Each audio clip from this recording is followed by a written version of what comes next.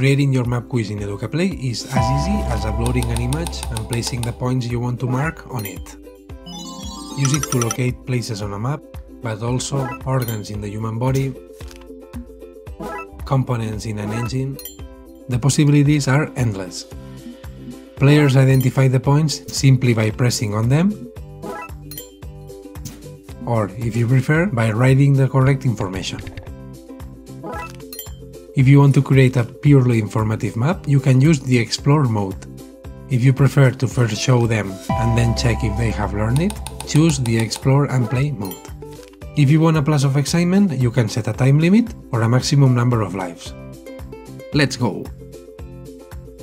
First step, click on New Activity, choose Map Quiz, and sign up or log in if you haven't done so yet. Now you're in the editor. First, select the image on which you want to place the points. If you prefer, you can drag it from the File Explorer or from your browser. Once you upload the image, the first point will be automatically created in the center of it. Click on it, hold it down, and drag it to move it to the first place you want to mark.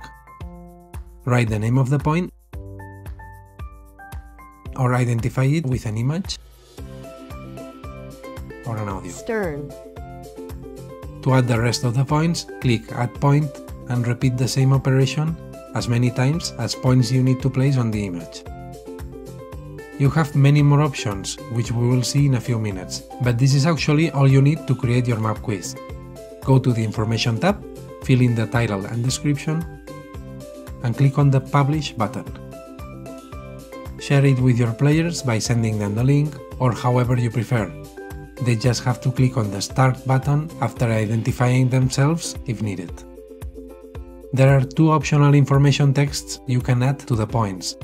One is the description that players read before solving the point, and the other one is the feedback, which will be displayed just after solving the point. In Explore mode, both texts are displayed when they open the point. You can select the game mode in the Options tab. By default, the mode is Play, where players have to identify each point.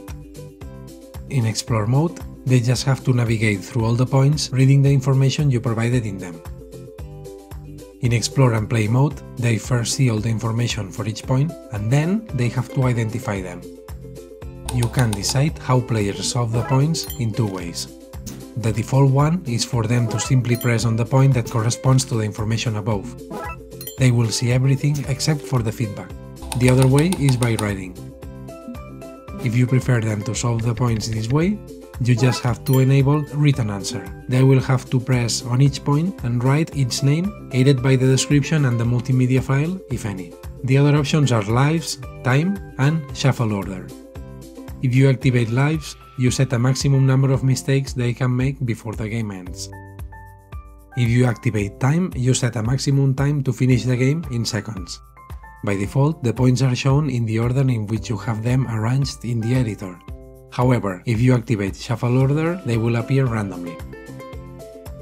With any advanced academic or commercial plan, you can use advanced options such as setting a background image, setting the game as private, showing a message when players pass the activity, or not showing them the correct answers when they finish.